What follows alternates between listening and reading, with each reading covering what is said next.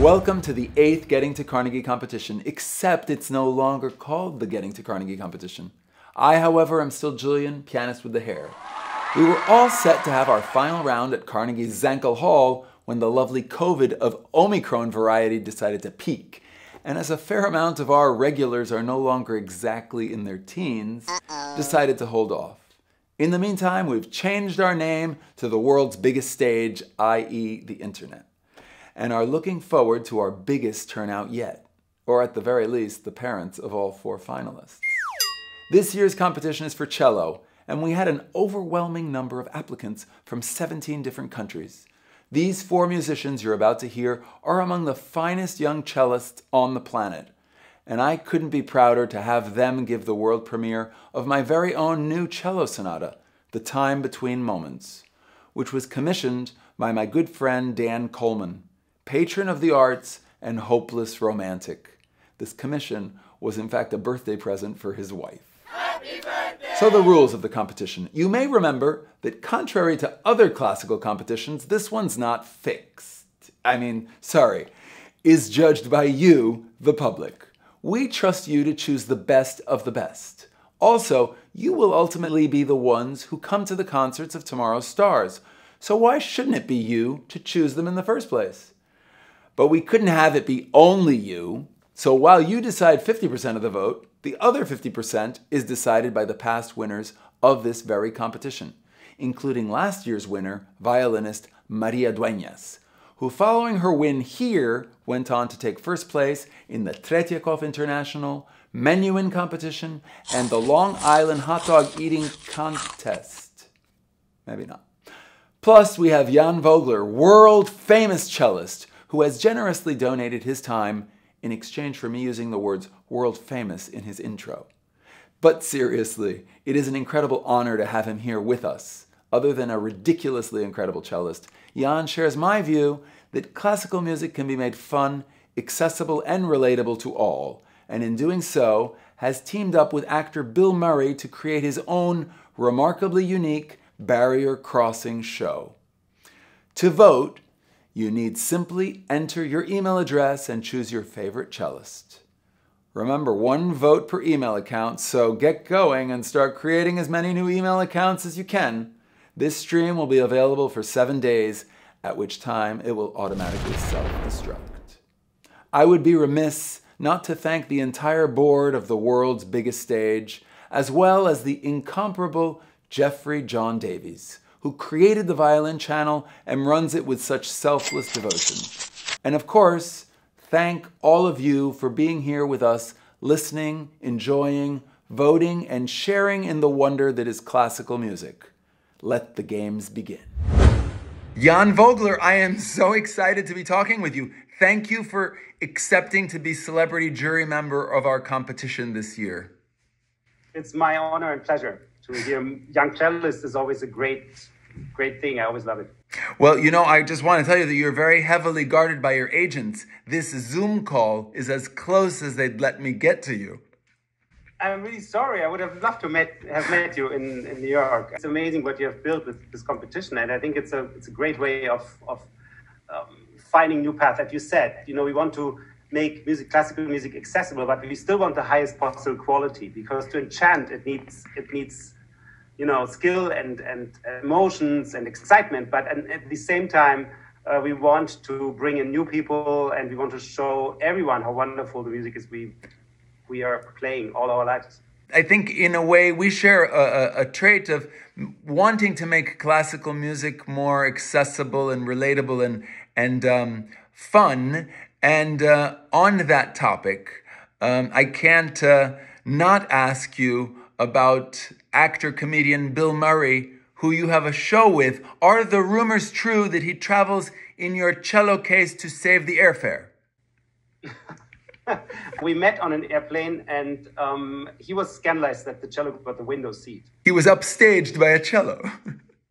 yes, um, touring with him was really like nothing else I have experienced in my life. I understand you have a you have a really really cool and different kind of show called uh, New Worlds if, if, if I'm correct, if, if Google tells me accurately. It's a real show. It's not a reading of literature with music. Um, it has an incredible build, and usually in the end, everybody is, is going crazy. So it's it's a it's a uh, it's something that surprises people and gets them each time, and, and each time they just don't see it coming. Well, I, I couldn't be more excited about you being the celebrity jury member. The other jury members will be all past winners of the of the competition, but I think you're the perfect person. You're you're the ambassador for bringing music, classical music to the world, and um, and in a way, that's what this competition aims to do. So thank you, thank you so much, uh, Jan, for being here.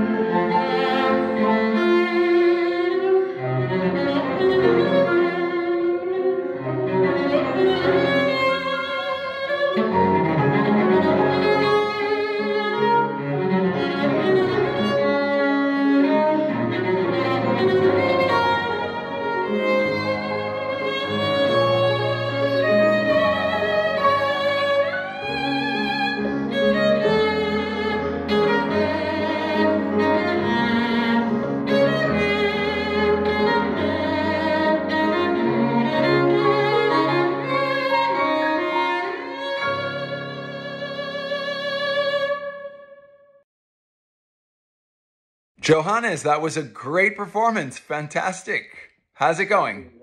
Great. Where are you right now? Right now, I'm at home in Paris. At home in Paris, just like me. And uh, I see you've cut your hair. So you'll be the cellist with the hair very soon. Exactly. And how are you enjoying the French? Despite the what Americans might think of them being a bit cold, I think they're very friendly people, and I, so I really enjoyed it. So let's try uh, a couple of, um, I guess, short answer questions. We'll go through it kind of fast. Uh, don't feel like you have to give a, a, a long answer. So, what's your favorite piece of music? That's you asked for a short answer, but that's a very uh, that's a difficult question.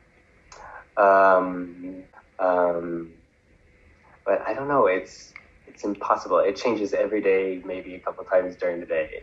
Yes. Speed, I see, in answering these questions. Maybe a challenge. Like, okay. Um, if you couldn't play the cello, what would you do? I always wanted to be a scientist of some sort, probably with animals, probably with birds. Do you dream at night and do you remember it? Always, yeah. Flying or invisibility, if you had to choose? Flying, for sure. Netflix or Amazon Prime? Uh, Netflix. If you had to live in the city or in the country, where would you live? Countryside. Um, solo concert or chamber? Chamber music. Dostoevsky or Tolstoy? Dostoevsky. Are you right handed or left handed? A right-handed, but left-eyed. And middle eared. Are your parents musicians? Uh, yes. Do you have siblings? Two sisters. When did you start the cello and when did you know it was going to be that for you? Uh, extremely early. So What age would that have been? that was when I was like as from infant to the moment where I saw a cello for the first time, uh, uh, a small cello for the first time. I was two and a half. Two and a half. That is that is very early. Wow. I wanted to also ask if there's anything um, that you want to talk about. Like, I do this, and this is something that you might not know about me. Um, I don't. Where's I'm a, I'm a serial killer on the side. Here's my little cat. His name is Rijik. Now he follows us everywhere. Does he follow you on Instagram? Yes. he does not like cello. As soon as I start practicing, he's out. Well, it's a good thing that he's not part of the voting committee.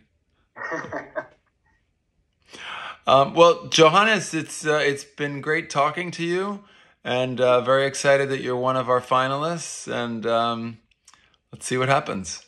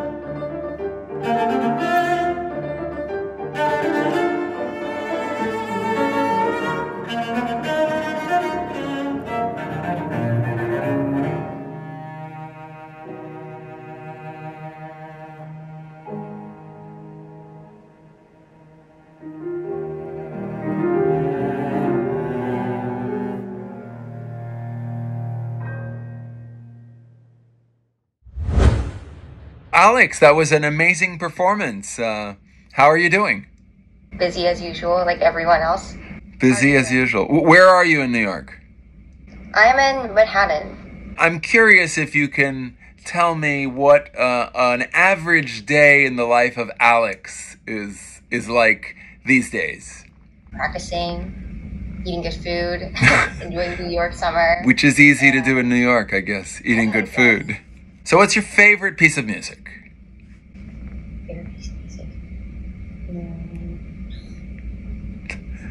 Right now, uh, Beethoven Sonata Number Four. If you couldn't play the cello, what would you do? Boxing instructor. No. um, maybe becoming a diplomat. Do you dream at night? Yes. Flying or invisibility? Flying. Netflix or Amazon Prime? I would say Netflix. City or country if you had to choose where to live? Mm, I think I'm a city girl. Solo concert or chamber? Chamber. Dostoevsky or Tolstoy? Tolstoy, I would say.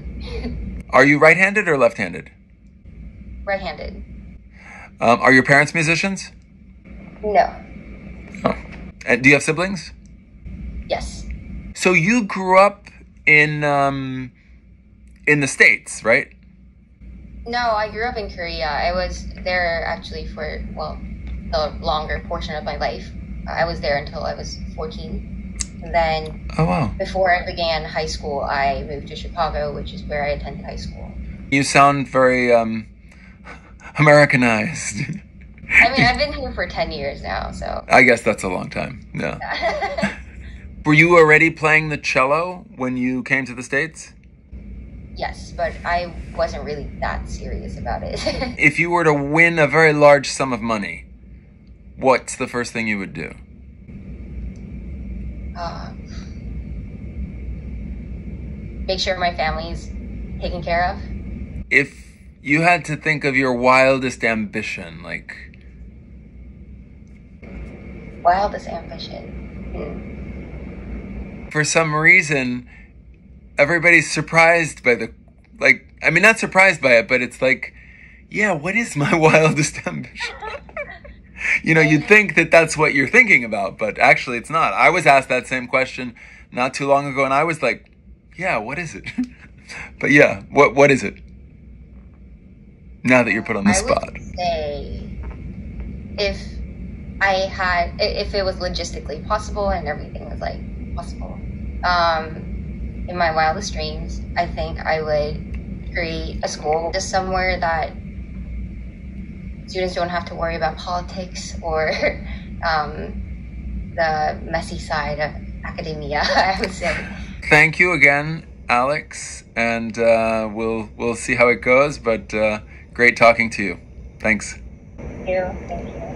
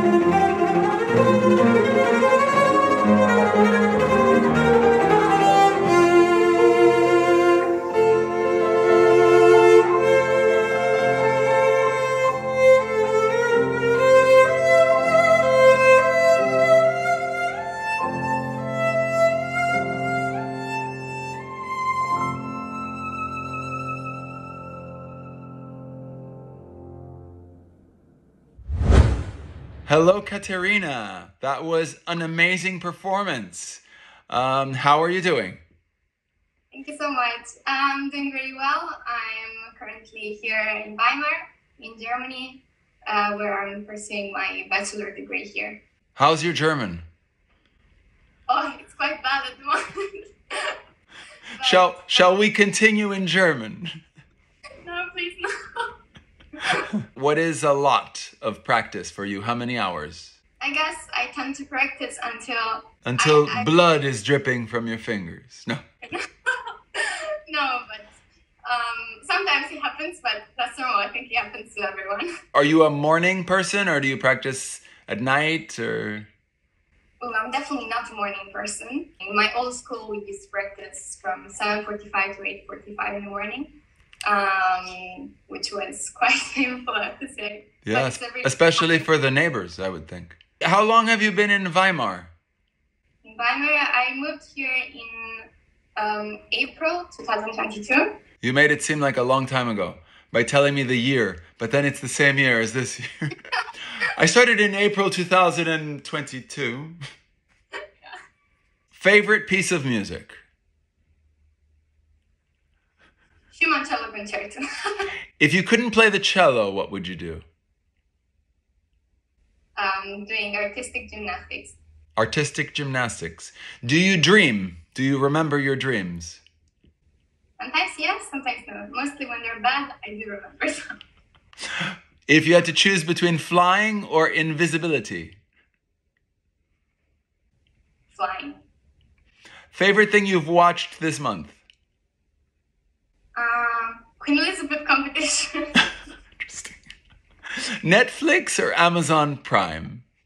Netflix. If you had to live in the city or the country? Um, city. Solo concert or chamber? Both. Dostoevsky or Tolstoy? Tolstoy, yeah. Right-handed or left-handed are you? Right-handed, yeah. Right-handed. When did you start the cello? Nine and a half. Until nine, you were you doing a little piano, maybe? Um, they tried to make me start on the piano, and I really did not like it. If you won a million dollars, what what would you do? Maybe I should change that question to a billion dollars because a million you don't do much anymore. But if you want a lot of money, um, what's the first thing you would do? Oh, that's very difficult. But I, I guess split it with my some of my family members, my closest friends. Some well, of it. Well, you would share it. Yeah. Okay, um, that's nice. Some, yeah, not whole, maybe. and then maybe buy a really nice cello. I don't know. Well, thank you, Caterina. This has been uh, very, very interesting. And uh, best of luck. And uh, we'll see what happens. Yes. Bye. Thank you.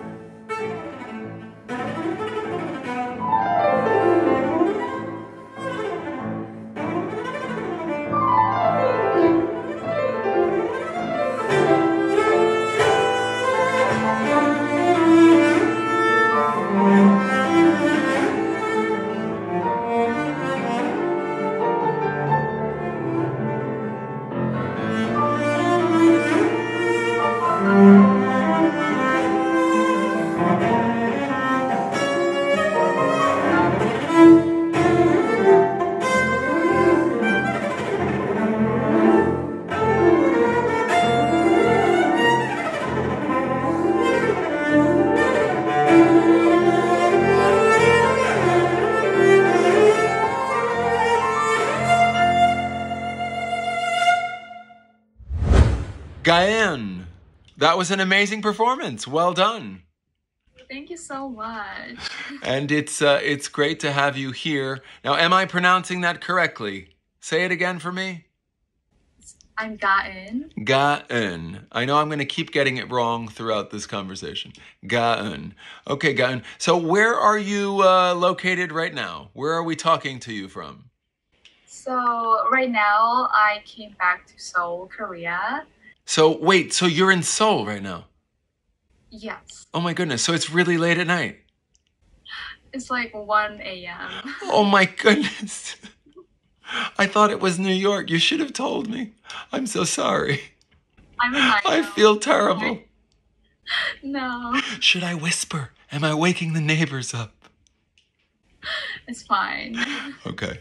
Well, that's good. So it's it's very exciting to have you as one of the finalists in this competition. I wanted to ask you just a couple of quick questions. So, what's your favorite piece of music? This is hard. Um, Schumann romances. Oh, the Schumann romances. Okay. If you couldn't play the cello, what would you do? Um, dance. Dance. Do you dream at night? yes. If you could choose between flying or invisibility, Flying. Netflix or Amazon Prime, Netflix. city or country if you had to choose where to live, City. solo concert or chamber, Solo. Dostoevsky or Tolstoy. Tolstoy. Are you right handed or left handed? Right-handed. Parents, musicians? Um, my mom is a flutist. Do you have siblings? I have one younger brother. When did you know that you were going to be a cellist? I started cello like three years old, but um, the first time I got on stage was when I was four, and yeah, since then I wanted to be a cellist and um, kind of knew that I would be a cellist in the future. You already knew when you were four. I have a four year old son. He doesn't even know if he wants to play Lego or drink juice. But you also mentioned dance before, so was dance something that you also did? I really got into dancing, and um, I love dancing. Yeah. That's cool. If you won a million dollars, what's the first thing you'd do? I would get a new bow. You get a new bow. Because for a second I thought you said a new boat. I was thinking, Oh. wow, she has an old boat. That's impressive already. get a new boat. I get a new Ferrari. This old Ferrari is really not working out well. You said you have a younger brother? yes. Is he a musician as well? Um, he doesn't like classical music actually. Smart boy. Very smart boy. it's been great talking to you and uh, very excited that you're one of our finalists. Best of luck.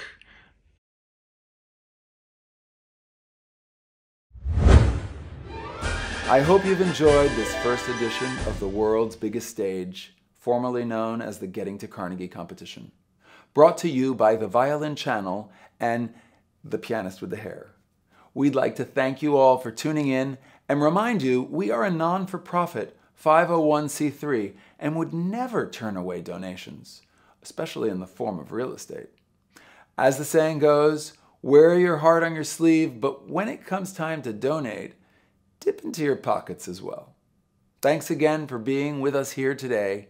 We know your time is your most valuable asset, so if you'd like a refund for the past 40 minutes of your life, please visit the box office on 57th and 7th. Thanks.